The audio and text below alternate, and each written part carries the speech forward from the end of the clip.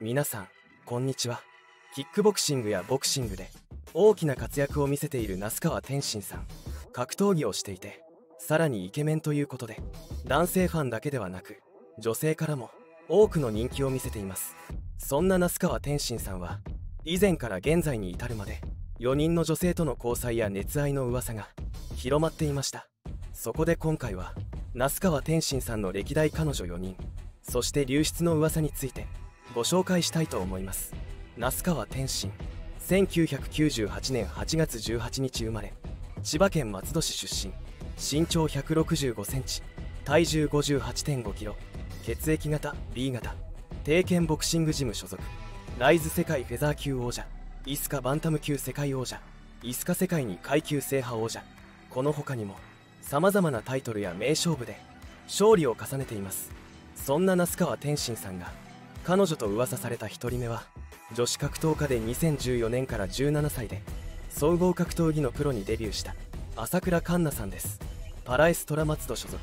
幼い頃からレスリングを始めて国際優勝の経験もあり2014年27歳で総合格闘技のプロデビューを果たしています。2017年は2度の留年をしながら高校を卒業。その後も様々な相手と試合をし多くの白星を挙げています。高校卒業には2度の留年をして勉強は少し苦手なようですが格闘技のセンスは幼い頃からあったようですね。そんな朝倉環奈さんと那須川天心さんは2017年頃から交際をしていたようで2018年頃にキスをしている写真が写真週刊誌によって流出しました。この2人は出身地もほぼ同じで同じ格闘家ということもありよく一緒に練習をしていたそうです。交際の発展はその時の練習からと言われています。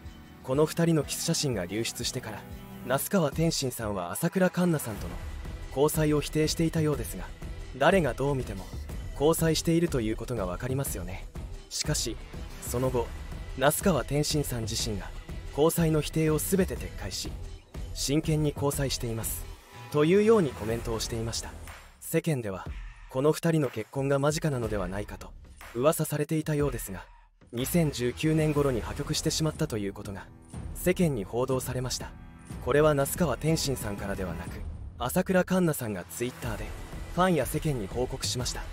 天心とはそれぞれ頑張っていくことにしました。お互い話し合って決めたことなのでこれからも私たちの応援をしてくれると嬉しいです。応援してくれていた皆様ありがとうございました。天心楽しい時間をありがとう。と綴りました。この2人の破局の原因は2人目で紹介する博士舞さんとの浮気ではないのかと世間では噂されているようです。那須川天心さんの彼女と噂された2人目はグラビアアイドルとして有名な博士舞さんです。2011年にグラビアアイドルとしてミスフラッシュ2012グランプリを受賞。2019年にグラビアアイドルを卒業。2019年年号が令和に変わるとともに結婚届を提出し令和婚として話題になりました。2021年第1子を出産。この2人の出会いはもともと博士舞さんが格闘技団体ライジンのラウンドガールの経験がありそこで那須川天心さんと知り合ったのではないかと噂されています。この噂の原因としては那須川天心さんの友人が家に遊びに来た時に博士舞さんが那須川天心さんに馬乗りになりながら何度もキスをしていた現場を目撃し友人が証言したからだそうです。その友人は記者に対してこのようにコメントをしていたそうです。秘密にしてほしいんだけど実は付き合ってるんだと言われました。あっけらかんと二股宣言をされてびっくりしました。だって当時天心は朝倉選手とすでに付き合っていましたからね。この報道に対して博士舞さんの事務所は那須川天心さんとの交際を認めこのようにコメントをしていました。2018年2月当時那須川選手と博士がお付き合いしていたことは事実です。しかし博士は那須川選手が朝倉選手とも交際していることを週刊誌が報じる前に気づきその後きっぱりと連絡を取らなくなったと聞いています。さらに那須川天心選手の事務所も浮気を繰り返しているのは否定したものの博士舞さんとそのような関係があったことは認めていてこのようなコメントを残していました。過去に博士さんと関係があったことは事実です。しかし朝倉選手との破局は那須川の浮気が原因ではありません。また浮気を繰り返している事実もありません。このことからも那須川天心さんと博士舞さんは交際していたことは事実ということが分かりました。那須川天心さんの3人目の彼女と噂されたのは東京五輪でボクシング女子フライ級で銅メダルを獲得したプロボクシング選手の並木月美さんです。小学4年生の頃に那須川天心さんに誘われキックボクシングも始める。2018年世界女子ボクシング選手権大会でフライ級銅メダルを獲得。2020年東京オリンピックでフライ級銅メダルを獲得。その他にも様々なタイトルを獲得しています。那須川天心さんは2019年に二股騒動が出てから女性との交際の噂の報道がなく2021年に並木月美さんとの交際の噂が広まり始めました。この2人は幼少期の頃から幼なじみだったそうです。那須川天心さんと並木月美さんの熱愛の噂が流れた理由としてはテレビ番組で共演をした時にとても仲が良さそうなことから広まってしまったようです。